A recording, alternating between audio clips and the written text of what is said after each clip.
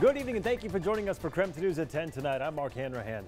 Tonight we are following a developing local story that's now making national headlines. We have new information on Mark Few's citation for driving under the influence on Labor Day. We have learned that the Zags head coach waived his arraignment so he did not appear in court. Few pleaded not guilty to the charge of driving under the influence.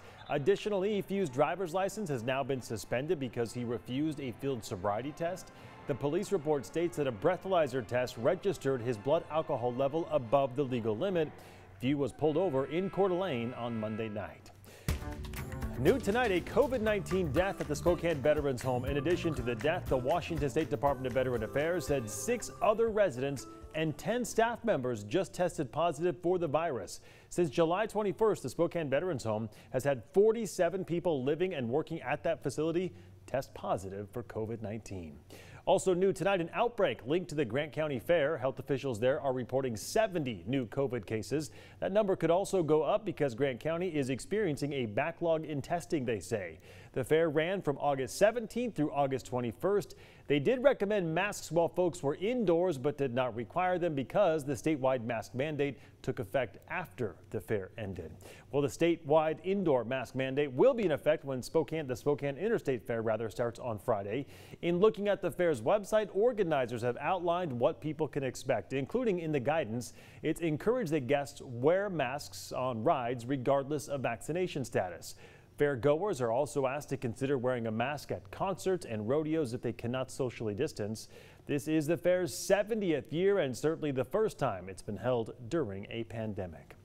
Tonight, new guidance from the World Health Organization on COVID-19 booster shots. The WHO asking rich countries now with large amounts of the vaccine to refrain from offering booster shots until the end of this year. WHO's director says, quote, he was appalled that a pharmaceutical manufacturer says supplies are large enough that people in well-developed countries can get boosters, while people in other countries are facing a critical shortage of shots. Some countries, including the U.S., are starting to make plans for people that are immune compromised to get booster shots here in the U.S. Well, earlier today, I was reporting from Kootenai Health in Coeur d'Alene. The reason was to bring you more details on the healthcare crisis in North Idaho right now. To help treat coronavirus patients, some 20 medical personnel, military medical personnel, will be working out of the hospital for at least the next five weeks. They will help take some of the pressure off of Kootenai Health staff. The Department of Defense team includes 14 nurses, four doctors, and two respiratory therapists. The team will extend their stay if needed, but Let's hope that is not necessary. We were delighted to see that, uh, that the, the, standard of care was, was exceptional for the patients admitted at this hospital. Um, despite the sort of unprecedentedly large volumes of patients currently being cared for, um, the, the staff, the nurses, the physicians have been able to rise to the challenge and, uh, and, and, and, fight the good fight. Um, we're also incredibly fortunate to be able to be here and provide some, some much needed offloading of that stress on this local system. In the past year and a half, Kootenai Health has not once shut down its COVID-19 unit. The hospital, the hospital rather, has consistently maintained between three to five ICU COVID patients. Now today, there are around 40 COVID patients. That's right, 40 in the ICU. 20 of those patients are on ventilators. It is important to stress the vast majority of these patients, about 90%, are not vaccinated. And that number I just mentioned does not account for the non-COVID patients who need critical care right now, too. So the ICU is certainly carrying an unsustainable load right now. All that demand is having an impact on other parts of Kootenai Health as well. The hospital is having to find non-traditional places to treat non-critical patients. In fact, the hospital stood up a COVID overflow facility in a conference space. As of today, 11 hospital beds in that overflow room are now being used by people who need care. The room inside the Health Resources Center is equipped with a total of 22 hospital beds. When those beds fill up, hopefully they won't, right? But if they do, we will continue to work within the community with the Kootenai County Operations uh, of Emergency Management, other local hospitals, home health, uh, skilled nursing facilities to do our best to discharge and manage patient care as best we can. If there is a need for continued field hospital resources, that becomes a tougher challenge because again, we don't have the staff and the beds to do so. So it will be a community effort if we need to go beyond the, uh, the Health Resource Center.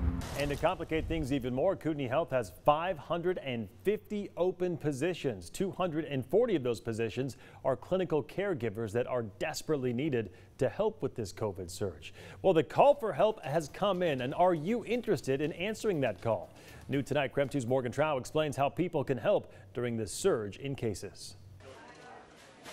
North Idaho healthcare workers are engulfed in the COVID 19 pandemic, and the Idaho Department of Health and Welfare says this area is suffering the most in the state. It's a really concerning and frustrating time for everyone. Hospitals are struggling. Kootenai Health says there is a severe shortage of staffing and available beds, leading them to activate crisis standards of care. Now, Catherine Hoyer with the Panhandle Health District says volunteers are being requested in high volumes. Certainly, we have open positions in call center, data entry, contact tracing, different things like that. Um, some people who do have medical licenses and they're are volunteers, we utilize them for some of the medical positions. So, where do you volunteer? You can register to join the Medical Reserve Corps on volunteeridaho.com. From there, you choose Find My MRC. After choosing which district, you can apply via the Register Now link. From there, you fill out general information, your credentials and licenses if you are already in or were in the healthcare field, and background on your skills. For the Medical Reserve Corps, there are no requirements. Anyone can register. We really don't turn away people, especially if they don't have a medical license, because we can, for every medical person,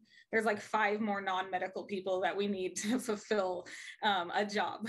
Hospitals will place a request to the district, which then gets sent off to the Idaho Office of Emergency Management. From there, the Medical Reserve Corps in each district of the state is contacted to help place volunteers. The Department of Health and Welfare says although they provide funds and tools to the Medical Reserve Corps, local health districts work with their own hospitals to arrange volunteer support. For people that want to volunteer, they have to go to the state website to register.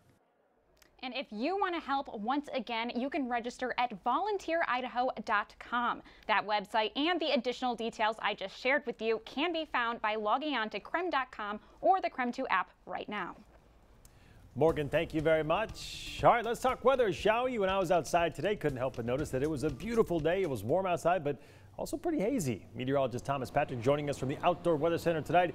And Thomas, will that smoke stick around for tomorrow? Yeah, it looks like tomorrow is going to be a very identical forecast to what it was today. Hard to showcase just how hazy it was, but at least our air quality did not take any kind of severe hits. Temperature-wise, still plenty warm out there. It was 86 for today. It was also a little bit breezy as well. We saw those wind gusts upwards of 30 miles per hour. And then, yes, you mix into the haze to those conditions that I just mentioned. But when we look at the weekend, it's looking much better. Less haze, a little bit cooler overall, mid 70s, mostly sunny skies. That's looking like a perfect weekend, but there's a transition day in between now and then as we're watching this next weather system that's going to be th sliding through the area this upcoming Friday. It has a very good chance that we get some rainfall across the area. So coming up, going to detail how much rain could be in the works and the time frame of this system as we go from the 80s today into the 70s for the weekend. My goodness, we could certainly use some rain, Thomas. Thank you very much.